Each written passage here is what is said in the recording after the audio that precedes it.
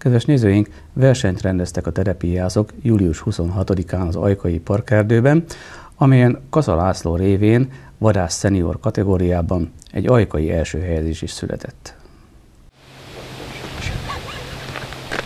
A 11 éves múltal rendelkező Terepiász Egyesület Ajka most a hétvégén a Parkerdőben egy IASZ versenyt szervezett. Kik vehettek részt ezen a versenyen? Hát bárki részt vehetett, aki az IASZ foglalkozik. Ez egy 3D-s IASZ verseny, ami azt jelenti, hogy gumiállatokra kell lőni, különböző távolságokról, különböző kategóriákba indulhatnak, csigás, vadászreflex, tradi, női férfi gyerek, és egy plusz egy lövés van, ha nem találja el, lőhet még egyet, és ezek a pontok lesznek összeadva, és a végén így alakul ki a sorrend. Mit kell tudni a különböző íjakról? Melyik íj mit tud? Hát a, a, a legkomplikáltabb, meg technikailag a, a legprecízebb az a csigási, ami a piros karótól lő, ezek közül is van olyan, ami 3D-s és tüskével lehet leküzdeni a célt, vannak szkópok, ami nagyítós, a többi az pedig vagy szétszedhető, a reflexíjak, három darabból állnak, vagy pedig a tradicionális íjak, amik egy darabból vannak, és semmiféle célzó berendezés nincs rajta, úgyhogy szerintem azok a, a legproblémásabbak, hogy leküzdjék a célt velük. Ehhez kell talán a legtöbb tehetség és a legtöbb ügyesség, hogyha nincsen ugye semmi technikai segítség az embernek. Inkább az évek, mert minél többet lő az ember vele, annál jobban tudja eltalálni, mert ezekkel a technikailag fejlett íjakkal sokkal egyszerűbb lőni, de a, tradijakkal azokkal nem, mert semmiféle célzó berendezés nincs rajta, meg semmihez nem tud viszonyítani, úgyhogy inkább, inkább az évek számítanak, meg a, a sok gyakorlás. Mikor érdemes elkezdeni ezt a sportágat? Hát nullától 90 éves korig, mert vannak gyerekek, akik most is itt, itt vannak, már vannak ilyen 5-6 évesek is.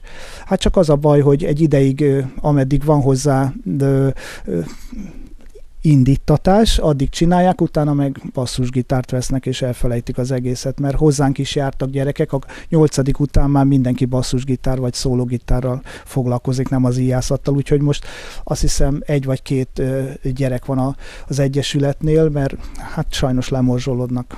Vagy kézilabda, vagy más sportágat választanak. És gondolom az sem mellékes, hogy ez egy viszonylag költséges sportág, hiszen ezeknek azért komoly ö, anyagi vonzata is van ezeknek az íjaknak.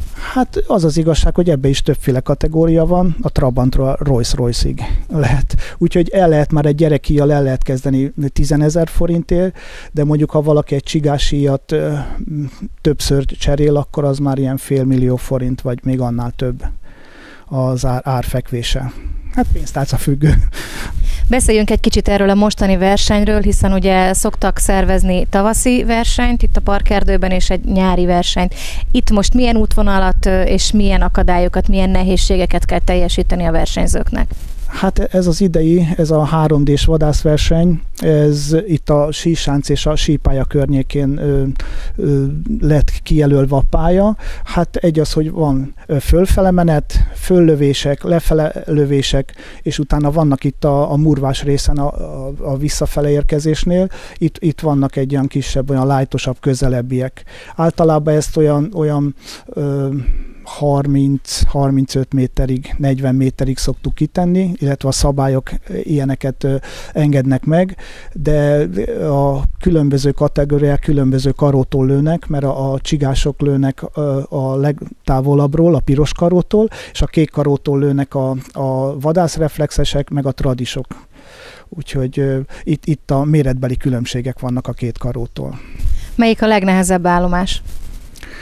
Hát a legnehezebb állomás szerintem itt a, a, ennél a bejárónál, mert kintről lőnek, ahol világosabb van, és ez ben van egy árnyékos helyen, és itt a távolságot sokkal nehezebb ö, megsatszolni, és hát mondjuk a, egy ilyen reflex vagy egy tradíjjal sokkal nehezebb eltalálni, mint egy csigássíjjal, mert ott, ott hogyha a távolságot mondjuk 5-6 méteret el ö, számol az ember, akkor még mindig beletalál az állatba, de a, a többi íjjal nem.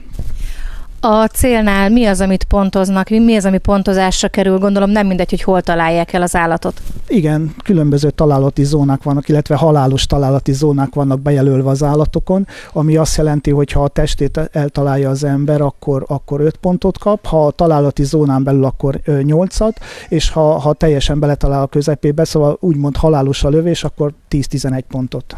És ezek vannak a végén összeszámolva, és így, alakulni, így alakul ki a sorrend. Hányan neveztek az idei versenyre, és a versenyzők java honnan érkezett?